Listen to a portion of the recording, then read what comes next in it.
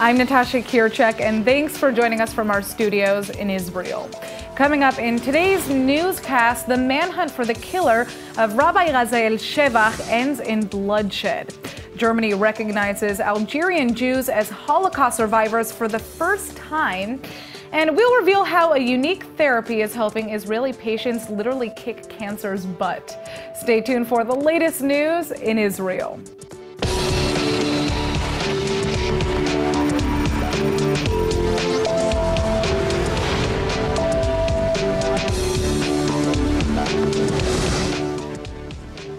Israeli security forces have finally ended a month long manhunt for the suspected killer of Rabbi Raziel Shevach. A Palestinian terrorist killed the rabbi last month in a bloody drive by shooting. And now police have just announced that the suspected killer has been shot and killed by Israeli troops. The Israeli National Police, Border Police, and Counterterrorism, the Yamam, carried out an operation overnight to focus and try and find the terrorist who carried out the deadly attack that murdered Rabbi Shevach just over three weeks ago. As a result of the operation, the terrorist was shot and killed. There were no injuries to our officers. And counterterrorism operations will continue in all areas in order to prevent and respond to any terrorist attacks in the different areas of Israel. Shin Bet and IDF forces worked together in a long and deeply coordinated effort to track the suspect, 22 year old Ahmad Nassar Jarar. He was found in the Palestinian village of Yamoun in the West Bank. When security teams surrounded his building to arrest him, Jarar allegedly exited the building with an M16 rifle and a bag of explosives, prompting troops to open fire. The murder of Rabbi Raziel Shevach, a father of six, also prompted cabinet leaders to legalize the formerly illegal Chavat Gilad outpost in the West Bank earlier this week. Prime Minister Netanyahu has hailed the army's successful operation to track down this terrorist. But the rabbi's widow, however, has shared a somewhat different view. After learning that her husband's killer had been killed, she told Army Radio that, quote, I understand the desire for account settling, but when it comes with another killing, we haven't solved the problem. Meanwhile, Israeli security forces are conducting a full scale manhunt for the suspect in yesterday's terror attack outside of the Jewish community of Ariel in the West Bank. Rabbi Itamar Ben Gal, a father of four, was killed in the tragic stabbing. Police believe the suspect is a 19 year old Israeli Arab who spent time living in Jaffa named Abed Al Karim Abdel Asi. ILTV's Aaron Porras is here with more. So, Aaron, this is a very, very upsetting uh, story for many reasons here in Israel. Oh, yeah. I mean, Israelis basically everywhere are very conflicted when they hear stories like this because while Israel tries to be a very pluralistic and accepting society with lots of different religions and respect for each other, um, to realize that an Israeli citizen is not only capable but went through with it, you know, such an attack of hatred and terrorism is, is very jarring. Um, you know, especially when you see an Israeli Arab again do this kind of violence and then there are videos uh, of uh, Palestinians actually supporting him, uh, and that's even more kind of uh, alarming to a lot of Israelis because it's well, it, it makes fear them, that other, right, it makes them fear Israeli that other people Arabs might, might uh, get inspired to follow his suit. Mm-hmm. Yeah. Now, what about the information that is showing that Asi was also the recipient of Israeli aid? Uh, that's true, actually. The reports show that he was in and out of foster care, not, not foster care, but social services uh, here in Israel, and he was receiving uh, services even from at-risk youth services here in Jaffa, uh, and that he was abandoned by his family, you know, at an earlier age. Uh, but actually, that at-risk youth center even asked him to leave eventually because he was still, despite having been abandoned, was continuing to visit his family members in Nablus and things like that. Um, yeah. All right. Well, let's let's turn to your report. The rabbi was stabbed in the chest yesterday and succumbed to his wounds. Graphic video footage captured the suspect getting out of a taxi van, crossing the street, and then stabbing the unsuspecting rabbi as he was waiting for a bus. Unfortunately, this is in line with many such terror attacks in the West Bank, but for the suspect to have Israeli citizenship certainly changes the profile. Israeli troops have conducted raids throughout villages surrounding the Jewish Ariel settlement, and Prime Minister Netanyahu has vowed the suspect's swift capture, just like last evening's neutralization of the murderer of Rabbi Raziel Shevach. Hamas has hailed this attack as evidence of the ongoing intifada of resistance against Trump's controversial Jerusalem decision. Police have not yet released much info about the suspect other than that his mother lived in Haifa until recently and that his father is a Palestinian man from Nablus in the West Bank. Though more than half of Israelis support the government's controversial plan to either deport or indefinitely jail nearly 40,000 African men, women, and children in the country, outrage against the idea continues to surge.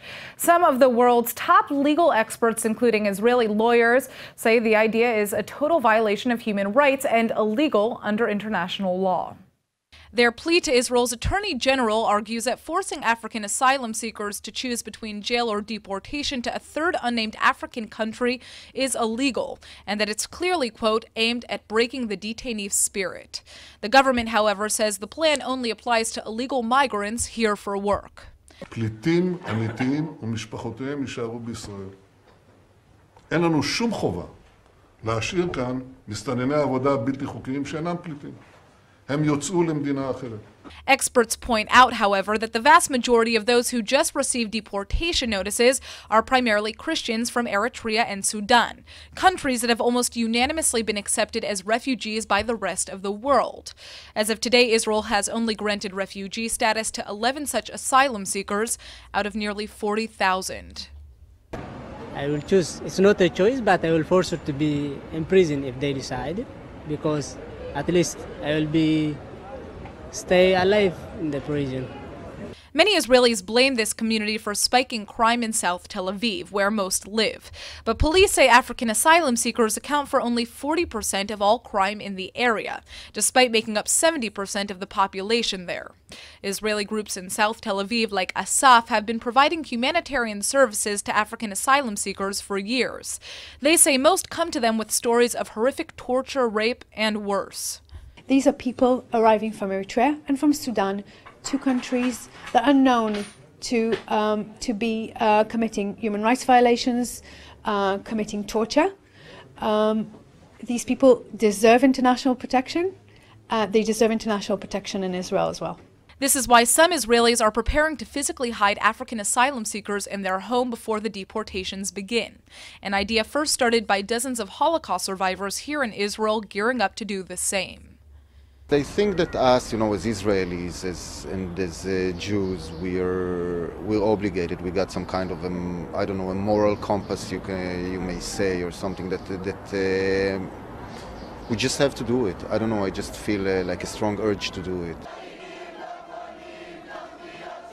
Poland has just canceled a meeting with the Israeli Education Minister Naftali Bennett in response to a statement he just released to the Israeli public.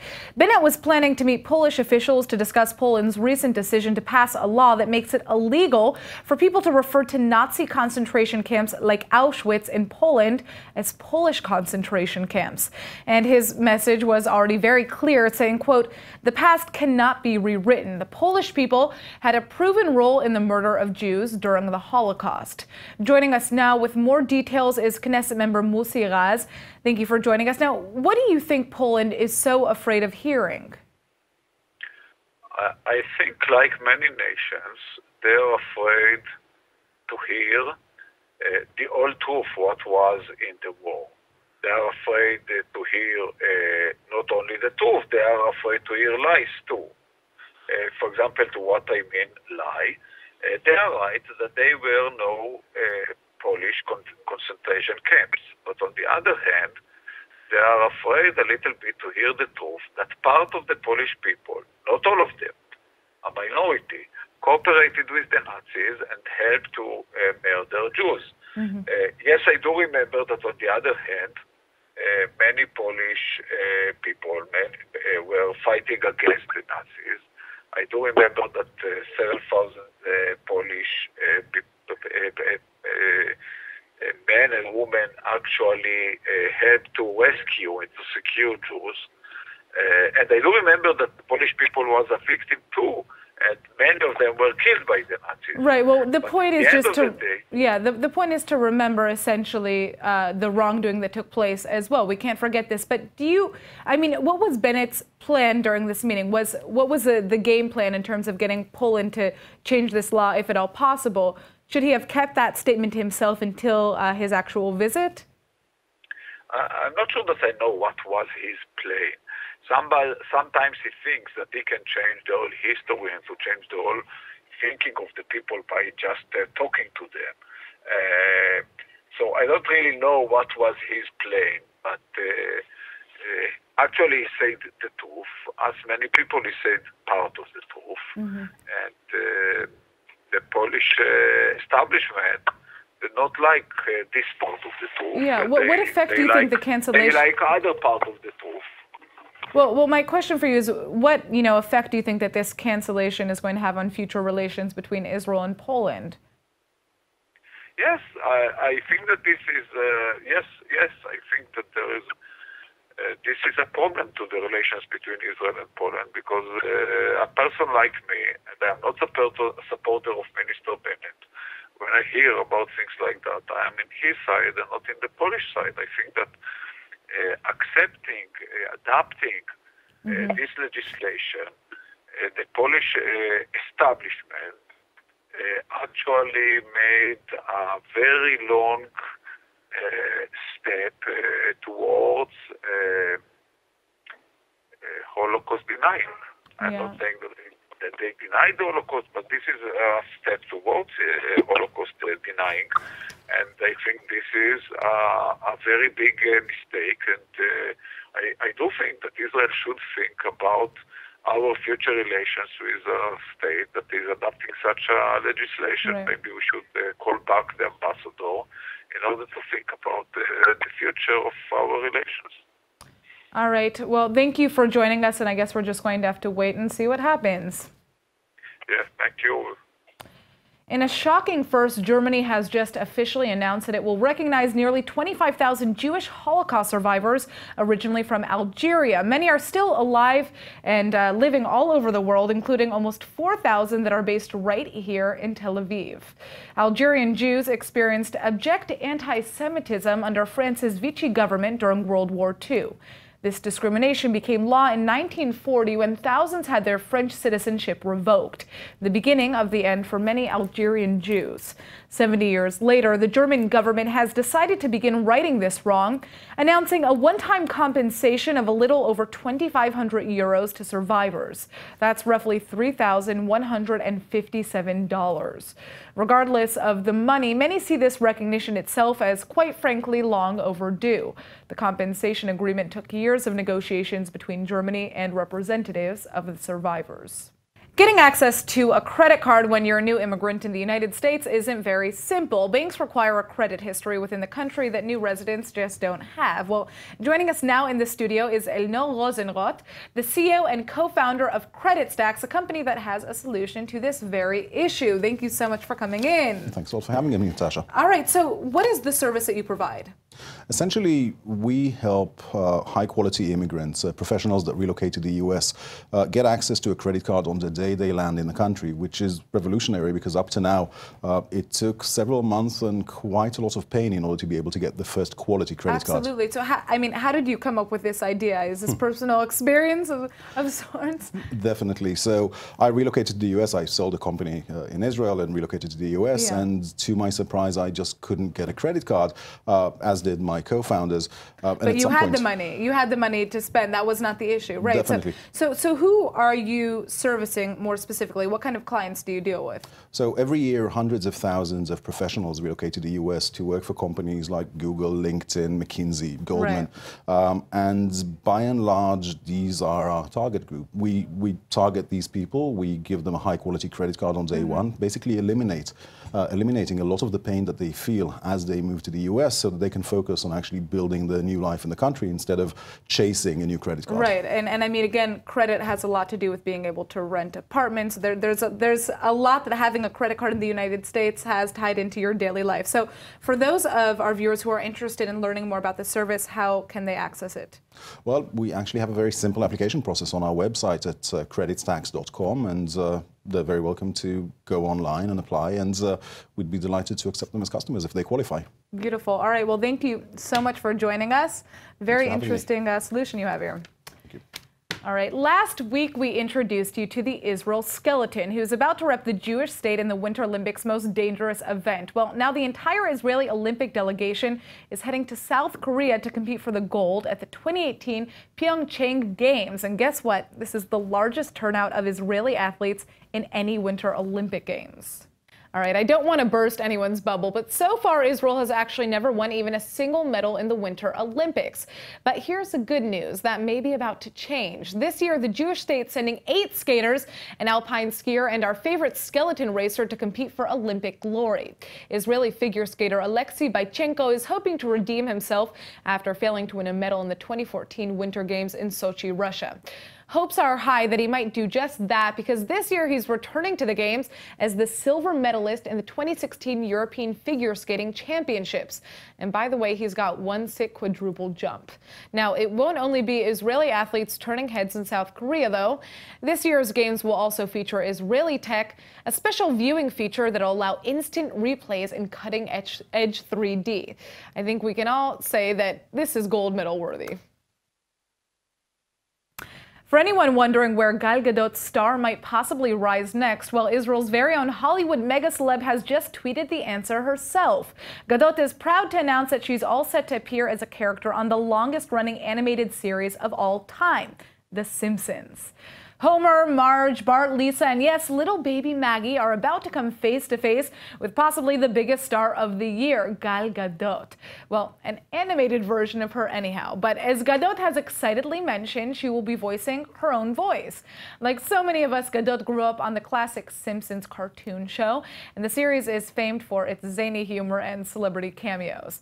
Gadot now joins big shots like Tom Hanks, Elizabeth Taylor, Lady Gaga, all who have performed on this show, and even Borat funny man Sacha Baron Cohen, who played an Israeli tour guide when The Simpsons went to the Holy Land. Well, we will be more than excited to tune in for this one. All right, guys, everyone's favorite TV scientist, Bill Nye, the science guy, is literally on a science high. His new Netflix series, Bill Nye Saves the World, has just premiered its latest season, offering an exclusive look at how Israel is leading and healing the world with medical marijuana. So consider the following. The Series 2 premiere, dubbed the Marijuana episode, takes viewers inside the history and science of medical marijuana. But it's the special segment called How is Israel Healing the World with Marijuana that really takes the special cake. Filmed here in Israel, the episode explores the country's amazing research and innovations in medical cannabis, spearheaded by Tikkun Olam, which is one of the world's top companies in the field.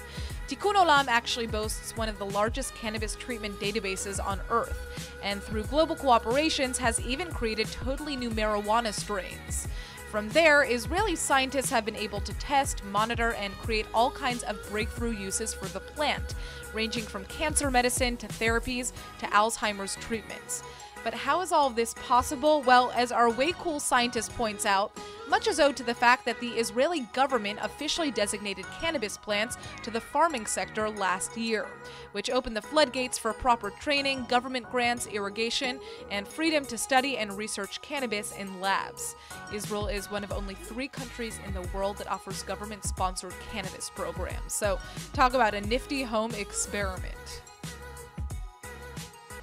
There's nothing worse than getting into your warm bed and then realizing you have to get back up to turn off the lights. Those are the moments when you wish you could just command your home to do what you want. Well, it turns out these smart homes of the future have actually become a reality. And joining us now with more is Yaron Mizrahi, the CEO of the company Homey Smart. Thank you so much for coming in. Thank you to invite me. All right, so I already see that you have a little control unit over there, and I'm, I'm going to ask you about that. But what is a smartphone, a smart home, and why would you say it's necessary? Break this down for us. Okay, uh, so smart home has a lot of uh, reasons, uh, but uh, I, th I think we will pick up the main two key reasons, which is uh, control and saving when we talking about smart home, we want to, to control our homes outside. We are very busy. We are not uh, have enough time with our family, and we still want to be there. So we are able to uh, control smart home when we are outside. And when, and when you say smart home, you're talking about lights, uh, security, I mean, just different electric systems within the house that you can control with your cell phone usually, yeah. or a tablet, or? Yeah, actually, our company was focusing on uh, smart electricity because we think this is the base of the smart home. Yeah. If you have uh, smart electricity, then you can get all other gadgets right. inside, and you can have the sensors and such things. Uh, we built a powerful uh, uh, electricity, which you don't need really to think what kind of device I'm going to plug in. it Right. will operate any any way. Very interesting. So, I also understand that you have a voice command system, right? Yeah, Let's take a look at that. We have a little video.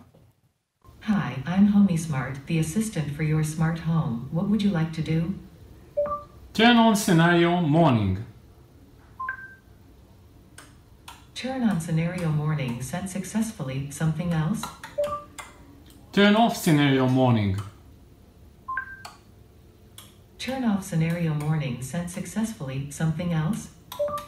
No. So, wh- when you're talking about turn, you know, these settings, these are pre-settings that exist, so a person can. Yeah, yeah. Uh, actually, we can see here the smart socket and switch that we had uh, developed. We become a Google partner for the Google Assistant. Nowadays, we don't need to touch our tablets or iPhones or uh, computers to operate our smart home. All we need to do is just talk. Yeah. We talk with the system and it just operates great. Wow, that's amazing. Okay, I mean, this could, like I said, it could be very useful if you're if you climb into bed and you don't want to get up and turn the lights off. Now, um, this this service or, or this these series of products that you have, um, do they apply to private homes, to buildings, to office buildings? Uh, Actually, we, we, uh, we got the understanding that uh, home users are so much different than business Mhm. uh, and offices. So we have different divisions. For, for the home users, we provide whatever smart home provides. But for the offices, we also have a special uh, platform that help them to uh, manage users, to see all the usage uh, of the electricity in terms of money, not only in right, terms because there are some Yeah. environmental benefits and financial benefits to having uh, th- these types of um, systems implemented, right? All right, well, thank you for joining us so much and telling us about this. Yeah, thank you. This is so heartbreaking, but every year, over a quarter of a million kids are diagnosed with cancer, which includes hundreds of children living right here in Israel. Well, one group of Israeli volunteers are taking a very unique approach to kicking cancer in the butt, almost literally. They're teaching young patients how to deal with their illness through martial arts. Check this out. The anger, the frustration, the pain, those feelings of helplessness and more all take a physical and mental toll on cancer patients. And when you're a kid dealing with all that, well, I can't even imagine. But that's where Kids Kicking Cancer enters the equation. הרעיון הוא לתת לילדים האלו להרגיש את הכוח שלהם, ושהם יכולים לקחת את הכוח הזה וגם להעביר את זה הלאה לאנשים בסביבה שלהם ולכל העולם. אז אנחנו לא רק עוסקים במכות ובעיטות, אלא אנחנו עוסקים בנשימות ובדמיון מודרך, שהם כלים שאפשר להשתמש בהם בכל מיני מצבים קשים בחיים. And it works. This incredible program was originally started by US-based Rabbi Elimelech Goldberg, who lost his two-year-old daughter to leukemia. Now it's up and running in 20 cities all over the world. Israel's two-time world karate silver medalist Danny Hakim runs the local chapter here in the Holy Land. And it brings together black belt volunteers regardless of race, religion, or politics to help fight the number one enemy of all. The program teaches kids focus, meditation, inner strength, and healthy ways to expel their inner anguish. So look out, Cancer, you're about to get a butt whooping. And now it's time for our Hebrew word of the day. Israeli kids are learning to fight their cancer by mastering their own inner concentration through martial arts. So, in honor of that, today we're talking about how to focus or concentrate. Or in Hebrew, litrakez. Well, if you want to be a black belt, a pilot, or even a Jedi, you must be able to litrakez or to concentrate. Yes, when I mitrakzet or focus, I can definitely solve all kinds of problems. I mean, meditation is basically just a way to litrakez, right? I say carve out just a little bit of time to litrakez, to yourself just once a day because a little bit of rikuz or concentration goes a long way. All right, let's go ahead and take a look at the weather forecast. Temperatures are expected to continue to rise tonight and tomorrow as the winter heat wave continues strong. Tonight should have a low of 53 or 12 degrees Celsius, while tomorrow's high will remain an unseasonably hot 77 or 25 degrees Celsius. All right, that's it for today's news. Today's exchange rate is 3.47 shekels to the American dollar. Remember to sign up for our daily newsletter at ILTV.tv. And don't forget to follow us on Facebook at Israel English News and on Twitter at ILTV News. I'm Natasha Kirchuk, and thanks for watching.